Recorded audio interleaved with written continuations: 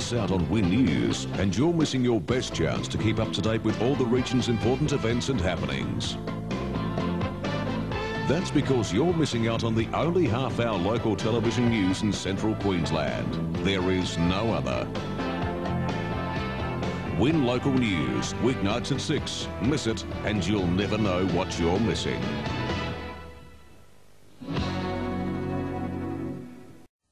Whenever it happens, wherever it happens, the Win News team is there, reporting on the major issues in the Rockhampton region to keep you up to date on the day's events.